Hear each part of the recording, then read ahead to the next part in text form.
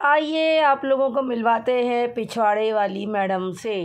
इन madam को अपना पिछवाड़ा दिखाने का इतना शौक़ है, इतना शौक़ है ना।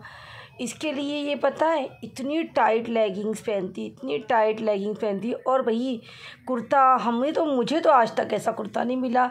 स्पेशल बनवाया गया है, ये क्या गया है कि ऊपर तक स्लिट इस कुर्ते में इनको पिछवाड़ा दिखाने का मैं बता रही ना, इतना क्रेज़ है ना।